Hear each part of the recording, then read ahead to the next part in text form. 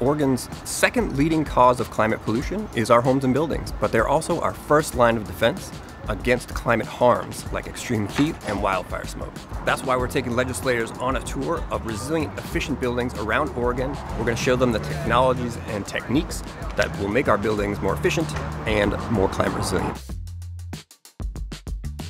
Right now, we're at the Viewfinder in Tigard, which is an affordable housing, multi-family apartment building that performs better than your average building. It's got solar on the roof, it's nice and tight so the wildfire smoke can't get inside. If we're talking about being sustainable, building location and orientation are very important. So this is our south-facing site, and it actually was a really interesting opportunity to orient the building to create a shaded courtyard that is north-facing so that the residents have an outdoor amenity space to use as well. This building has a tight envelope. All that means is quality doors, windows, and insulation that keeps the comfortable air in and the air pollution out. This is one of our residential units. For heating and cooling, we are using ductless mini splits. We usually locate them in the main living space. We are 100% LED light fixtures, and those light fixtures are all Energy Star rated. From a plumbing standpoint, all of the fixtures from sinks to toilets are all low flow and our appliances, they are all Energy Star rated as well.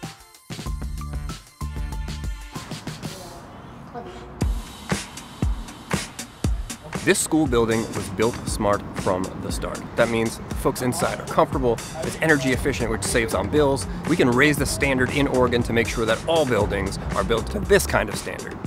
We created five career and technical education pathways, all centered around the idea of holistic, community-centered sustainability.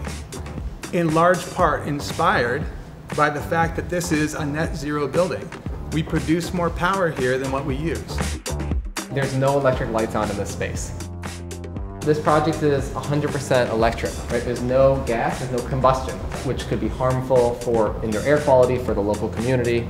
We've got this beautiful garden space that our students cultivate and care for and run their own community supported agriculture business. We've got an awesome manufacturing program.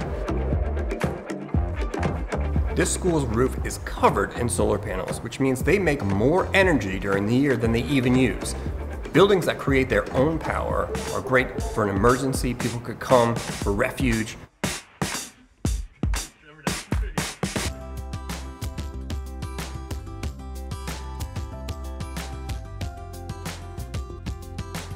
We're here at Mamook Toketee, which is an affordable housing complex for folks here in Northeast Portland. This building saves in two ways. It's super efficient, which means the folks who live here pay lower utility bills, but also in the construction, because it's all electric, no gas pipelines were put in this building, which saves money, as well as its super efficiency means smaller heating and cooling equipment, which also cuts costs.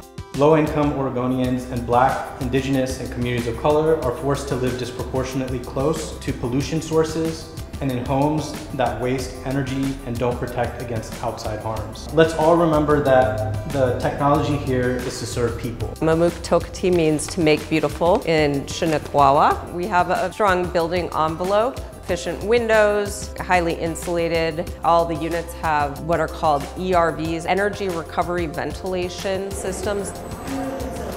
These are heat pump hot water heaters. They're highly efficient. There's a lot of heat coming into this room from all of the other systems that are here. They use that heat to heat the hot water and then they reject cool air. This is a technology that's allowing this building to be an all-electric building versus having gas.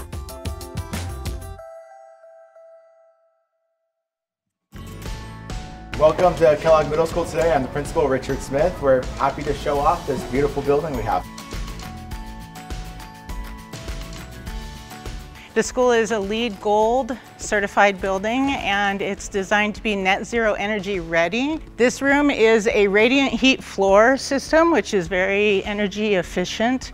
And then we have a displacement ventilation system which you see up above and that displacement air just drops at a natural rate. It's just a lot of air that comes into the room and that's also very energy efficient. We wanted to push this a little further in terms of energy efficiency. We found the additional premium was, was pretty low and it balanced against kind of the longer term cost savings for, for operations really made a lot of sense.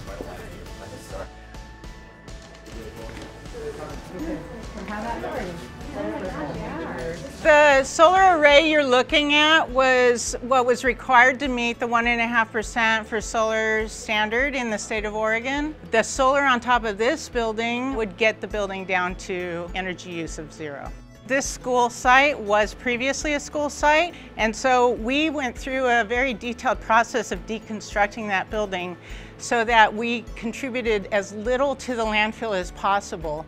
You will see in the building here some reused materials, but what's really exciting is that by diverting from the landfill and reusing, we only contributed 1% of the demolition to landfill. That is the equivalent of 137 747s that were diverted to one school bus that went into the landfill.